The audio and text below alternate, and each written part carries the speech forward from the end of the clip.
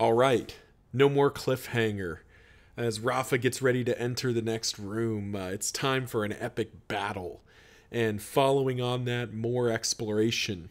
If he survives, that is. Uh, welcome back, everyone. This is part two of floor four of Rahfa's journey. I'm Lokiorin, and without further ado, let's get into the action. Six by five with two exits. All right, well. So first of all, we'll go over two. One, two, three, four, five, six. Well, it's, it's only five up. So one, two, three, four, five, six. And we are sort of out of space here, so we are just going to do a single exit. We can't uh, can't fit the other one in, but that's okay because we have uh, quite expanded this dungeon, which you gotta like. Two by five, you say? Oh, an under troll's lair. Large stones have been stacked, forming an internal chamber with a gaping dark entrance. An under troll clambers free. You must fight it. If you survive, you find a chest inside. Roll on CT4. Oh boy. You know, what's uh what's a, a game of dungeon crawling without um an encounter with a troll? So we'll uh get our uh uh, the doors are wooden out of here. And finally, we're fighting a level 4 enemy here. And I will... Let's get the thing. I'm pulling up the uh, card here. Did I ever make an Under Troll token? No. But what D and what kind of Dungeon Master would I be if I didn't have a Troll token? Uh... This guy looks pretty dope. But this is just the classic D&D troll. We'll go with this guy. Yeah, we'll go with this guy. Under Troll. 40 x 40 HP. This is a big old boy. We'll actually make it a little bit better. We'll make him big. So the Under Troll emerges. Rahfa readies his mace. Combat start. Uh, and this is this is going to be a tough fight, but I think we can do it. All right. So as Rahfa as Rahfa sees this troll coming out, we are going to throw a throwing axe. And we're going to go ahead and throw one of our throwing axe plus threes at him. So, throwing axe plus three. And since I've, I don't think I've ever actually done one of these on camera, so we're going to quickly, uh, I'm going to quickly jump over to the uh, throwing weapons section just to make sure I do it right the first time. Uh, yep, throwing weapons. You can throw one throwing weapon to start a combat. This does this does not replace the attack. You still attack first. So you always throwing weapons always hit successfully, but they may not always cause damage. So we roll 2d6. We roll 5 by 2. Wow, that's an exact strike. So 5 by 2. Trolls mitigate tough skin on secondaries 1s, 2s, 3s, 4s, and 6s for minus 1 damage. That's too bad. So he does mitigate a point of damage. So we hit him for eight. The throwing axe sinks into the flesh.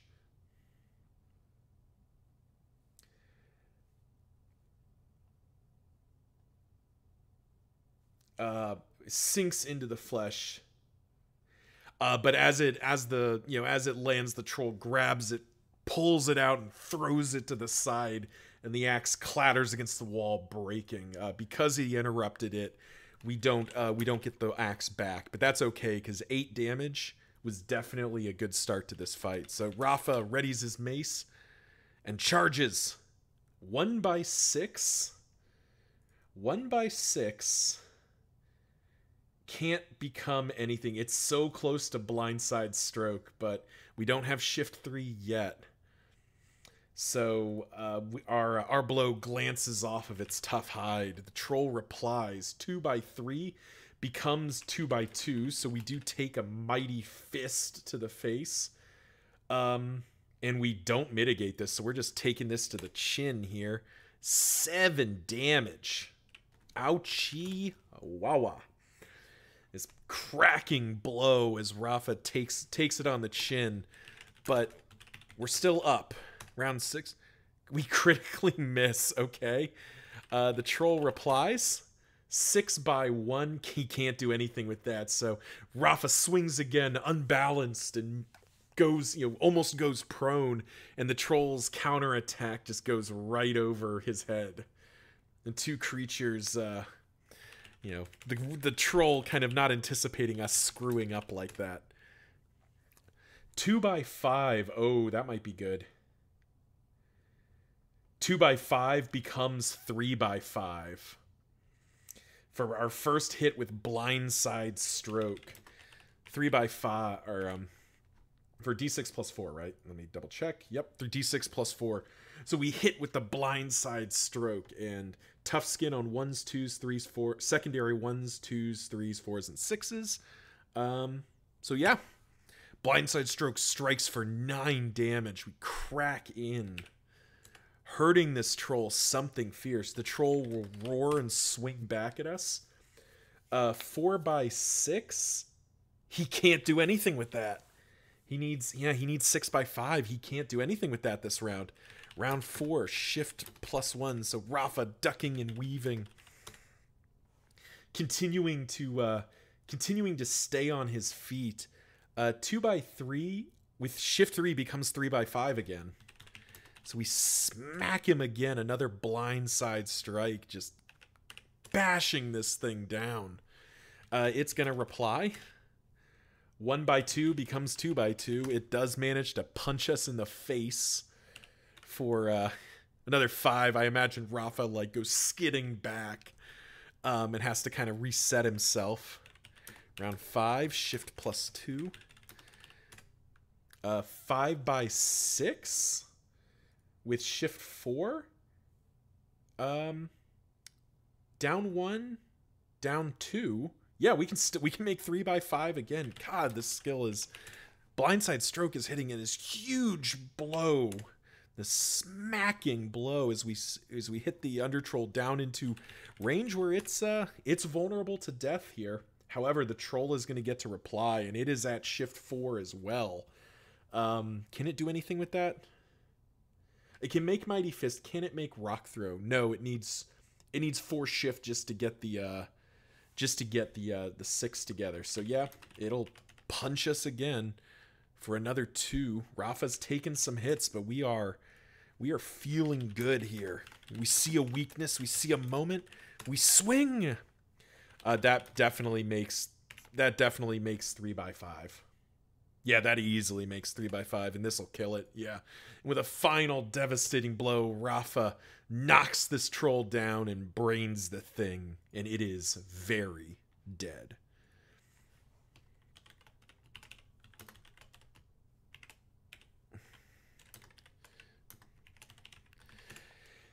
And as the troll falls, Rahfa gets 250 XP and that was this was what I was talking about uh, previous sessions where we weren't fighting any of the like really uh, dangerous stuff uh, because this stuff like drops a lot of XP or it, the scaling XP is starting to happen. We also get a bunch of loot.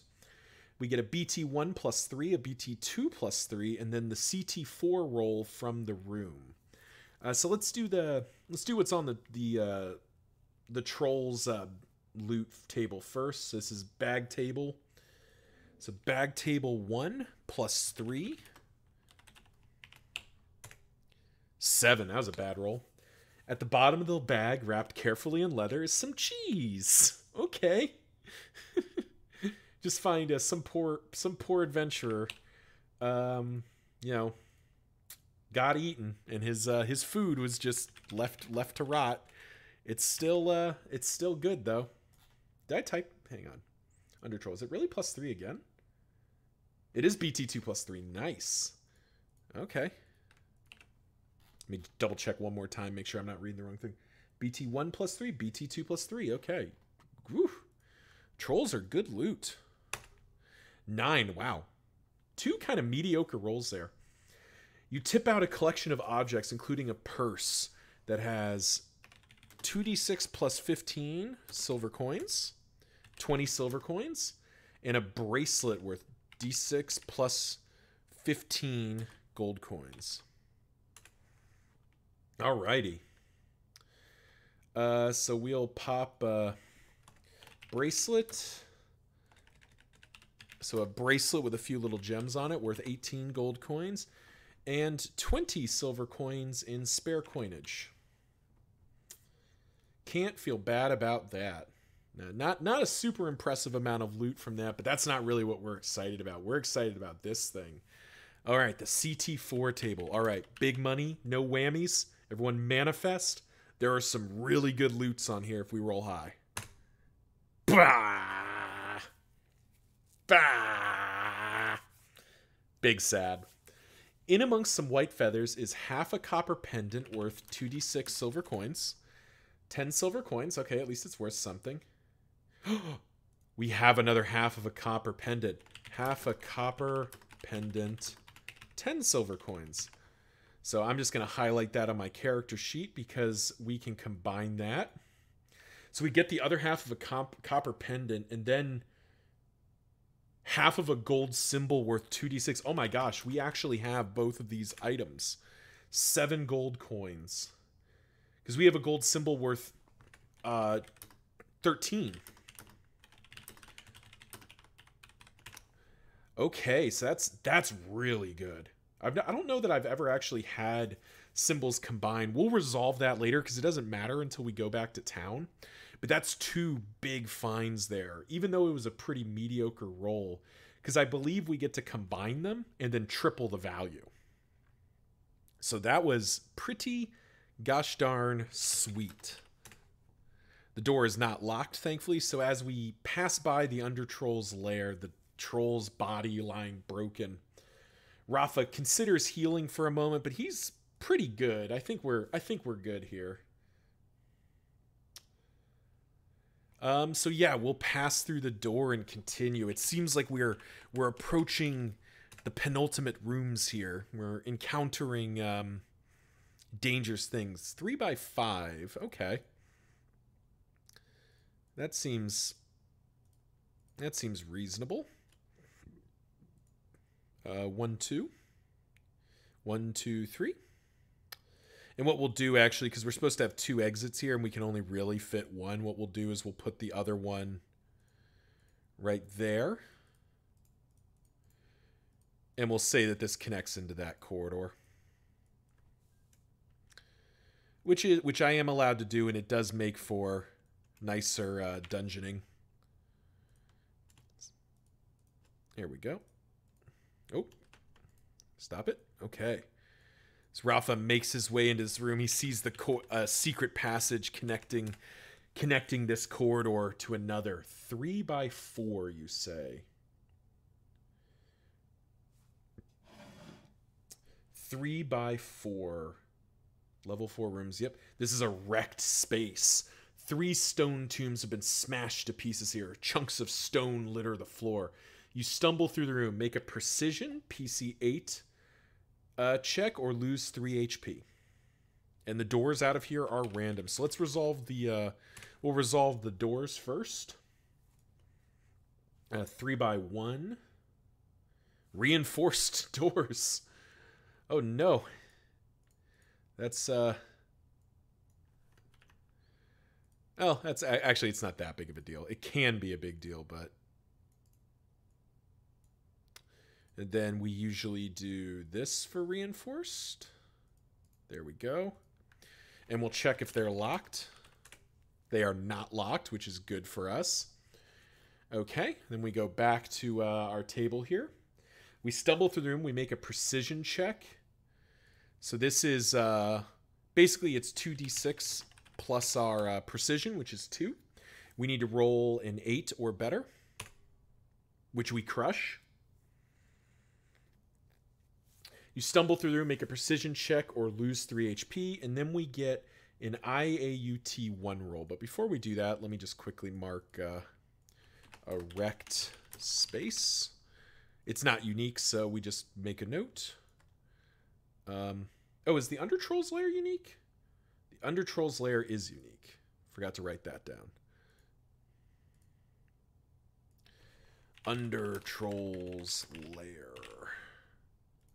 Cool. Oh, why did you shift to black? A wrecked space. There we go.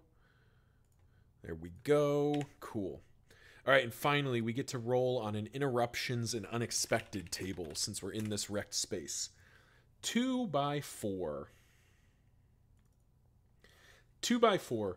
The remains of a coffin have been pushed to one side. It's been smashed. The wood appears to be damp, um, though, and something is growing here. D6, fight a thing, or find some glue.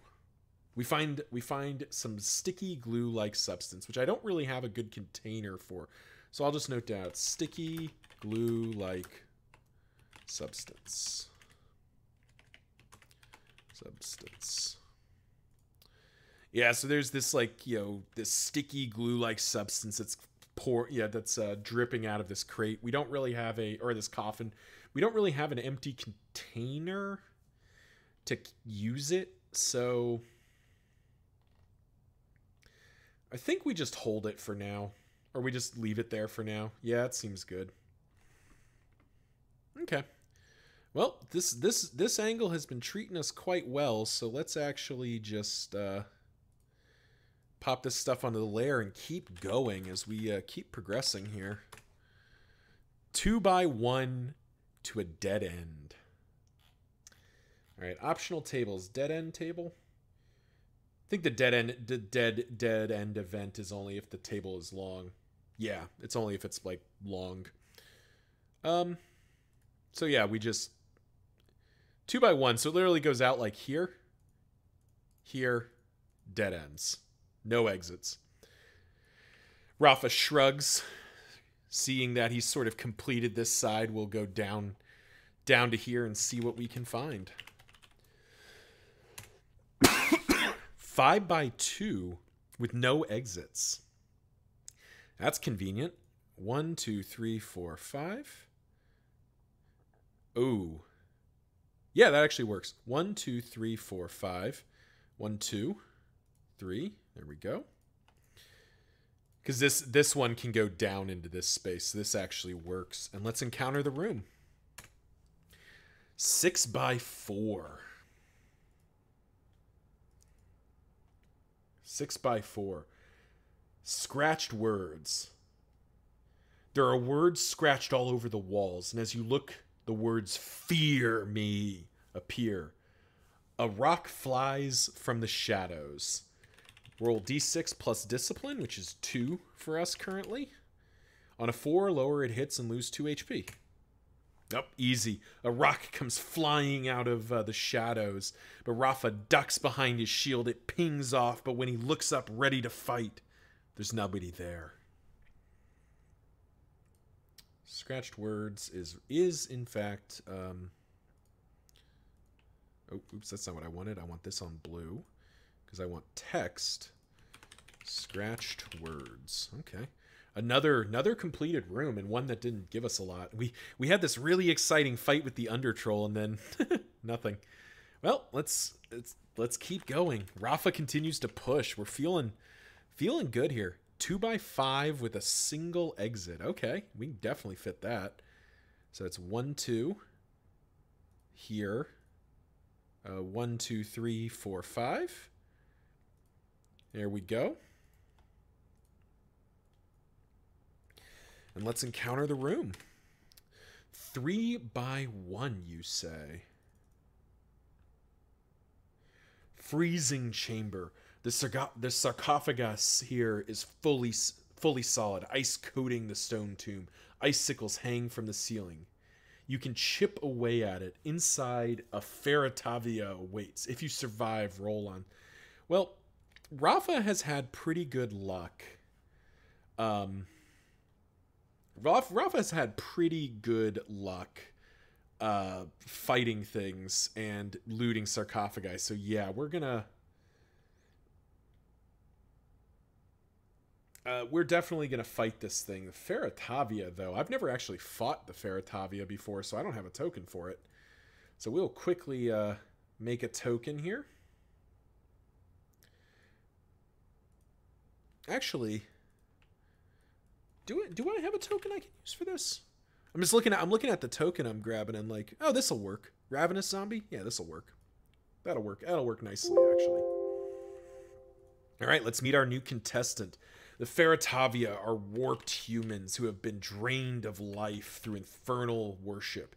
Yet they return to inhabit their bodies are now anima- animalian, bestial, and hungry for blood. So actually, um, actually, better, better idea. Vampire spawn. That's what this actually is. Yeah, this that looks even better actually. Vampire spawn. Fara Viata. Oh, I'm sorry. I've been saying Feritavia. It's a Fara Viata. I believe is how that should be pronounced. Fara Viata. Yeah. Either way, 21 HP for uh, 120 XP here, so it's about half as tough as the uh, Under Troll. Um, and as Rahfa sees it, you know what? Let's uh, let's spend our other throwing axe here. We'll just do the normal one this time because we want to keep the other magic one.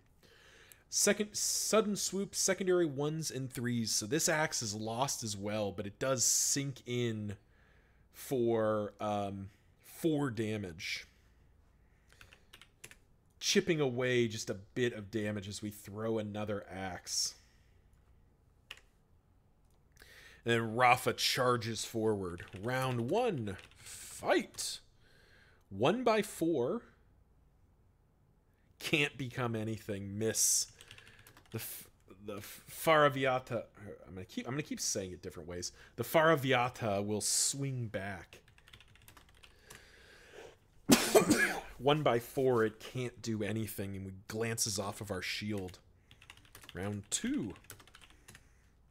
Oh, Oh, maybe? Yes! Exact strike. D6 plus 4 plus 2 for our shift. Crack it for 12 damage. This crippling, crunching blow as we strike this thing.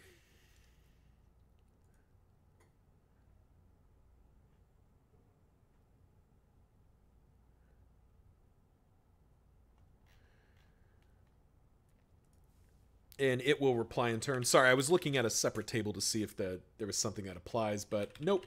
Uh, but it cracks back with its freezing claws, which are two by one, which I'm pretty sure our armor does not do anything for.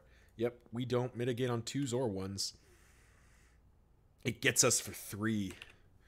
And ouch. But round three, seeing this thing flag, seeing it, uh, seeing it weaken. Rahfa strikes again and crushes its skull with his mace. The freezing, ghostly shell dies. 120 XP for our trouble, plus BST2 plus 2, and a. Um, what was the other roll? It was. Um, SL, yeah, it's sarco- sarcophagus loot table. There we go. So that's what we earned. And again, like just like the Under Troll, very a much more dangerous fight, but if you survive, we're starting to get some real uh, real gains here, real gains in XP. And let's roll uh, let's roll our loot. Uh, we'll do we'll do the body search table first. Two plus two. 8. Around the creature's forearm is a silver bracelet worth 3d6 silver coins. And it has two medium quality rubies set into it. So that is um, so that is a brace bracelet worth 6 silver coins with two medium quality rubies. And the reason that is relevant is that, oh, shoot, ah, no, stop, go away. People are gonna know I'm on Discord. Ah. anyway, uh, the uh, the reason that matters is that medium value, medium quality rubies are worth 24 gold coins each.